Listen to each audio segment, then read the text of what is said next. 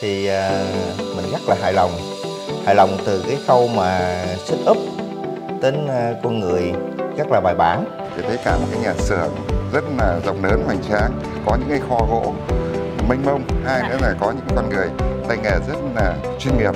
Mình cảm nhận như mỗi à, một người công nhân ở đấy là một nghệ nhân vậy.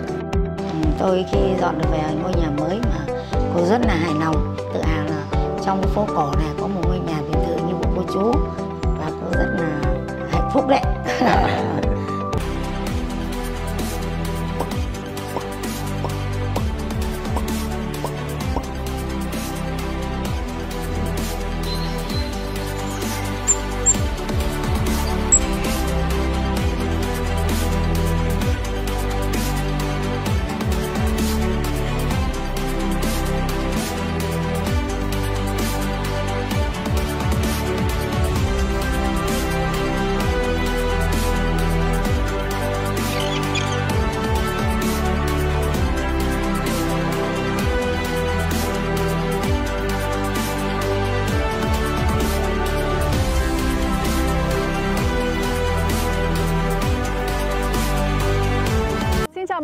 Mừng mọi người đến với Sport On TV.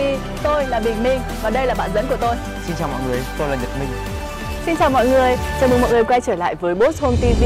Chào mừng quý vị và các bạn quay trở lại với Boss Home TV. Công trình của chúng ta hôm nay có tổng diện tích gần 400 m2, gồm 4 tầng, thiết kế theo phong cách tân cổ điển. Nào chúng ta sẽ cùng vào công trình hôm nay nhé.